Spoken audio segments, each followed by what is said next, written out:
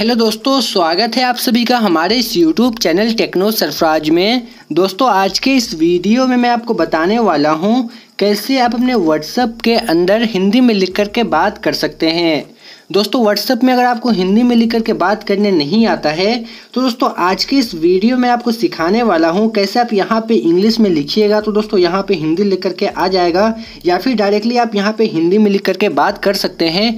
अगर आपको मालूम नहीं व्हाट्सएप पर हिंदी में चैट कैसे किया जाता है तो दोस्तों, आज आपको ये गलती बिल्कुल भी नहीं करना है। वीडियो को पूरा देखना है।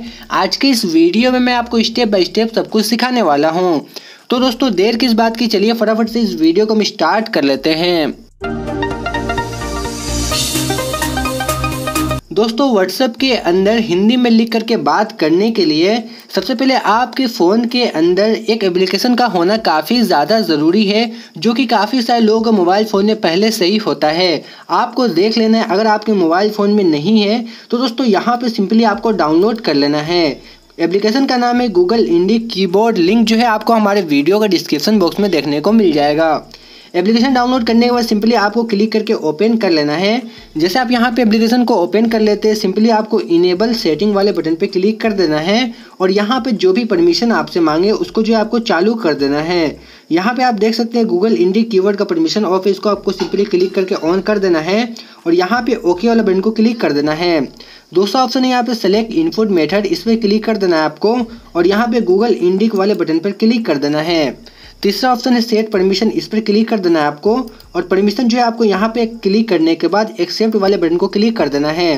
अब आपको स्लाइड कर लेना है और यहाँ पे स्लाइड करने के बाद रेडी टू गो वाले बटन पे आपको यहाँ पे क्लिक कर देना है और यहाँ पे कीबोर्ड का जो कलर है आपको वो चूज़ कर लेना है। हम यहाँ पे व्हाइट ले लेते हैं, उसका सिंपली आपको गेट स्टार्टेड वाले बटन पे क्लिक कर देना है। दोस्तों, आपका काम खत्म हो गया।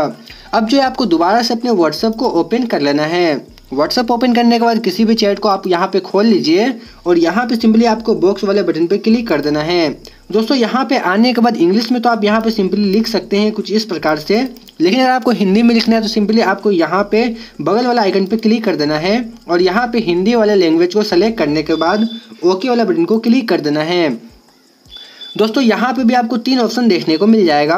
पहला पे अगर आप क्लिक कर देते हैं तो दोस्तों यहाँ पे आप कुछ भी इंग्लिश में लिखिएगा तो यहाँ पे हिंदी हो जाएगा जैसा कि मैं यहाँ पे लिख रहा हूँ H E double L O और यहाँ पे आप देख सकते हैं हिंदी में लिख करके आ गया दूसरा ऑप्शन यहाँ पे ये है यहाँ पे लिखे पे आप क्लिक करके यहाँ पे हिंदी कीबोर्ड में टाइप कर सकते हैं और दोस्तों यहाँ पे तीसरा ऑप्शन लाने के लिए आपको दोबारा से इस पर क्लिक कर देना है और लिखे पे क्लिक करके जो है आप इस प्रकार से यहाँ पे लिख सकते हैं जैसे कि आप देख सकते हैं ये क हो गया तो फिर कुछ इस प्रकार से आप जो है यहाँ पे तीन तरीका से हिंदी लिख सकते हैं सबसे आसान तरीका यहाँ पे ये है, इंग्लिश में लिखिए, हिंदी लिख करके आ जाएगा।